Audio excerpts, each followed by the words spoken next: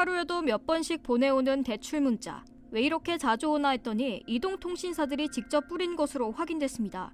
정필모 더불어민주당 의원은 15일 방송통신위원회로부터 이동통신사 2022 연간 광고 대행 서비스 현황 자료를 제출받아 분석한 결과 이 같은 내용을 확인했다고 밝혔습니다. 먼저 SKT는 교육, 금융, 리서치, 프랜차이즈, 유통 등 76개 업종으로 분류해 광고 대행 서비스를 진행했습니다. 지난해 저축은행 광고 비중은 약 11.16%를 차지했으며 연간 매출은 약 11억 1천만 원이었습니다.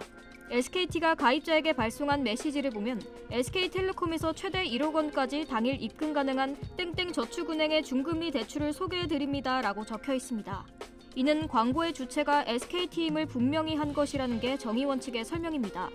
KT는 대출 광고 사업을 통해 약 10억 5천만 원의 매출을 기록했습니다. 문자 내용은 KT 제휴 광고 수신에 동의한 고객을 대상으로 대출금리 할인 등 할인 혜택이 적용된 저축은행 제휴 문자를 발송하고 있다 등이었습니다. 이동통신사들은 은근슬쩍 가입자 동의를 받은 뒤 이같이 돈을 벌었습니다.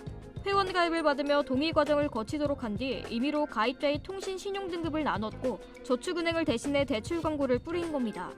정 의원은 이 통사 광고 대행 서비스는 가입자 동의를 전제로 하지만 동의서인 대출 광고를 따로 구분해서 묻지 않고 있다며 방송통신위원회가 이용자 보호를 위해 실태 점검에 나서야 한다고 강조했습니다.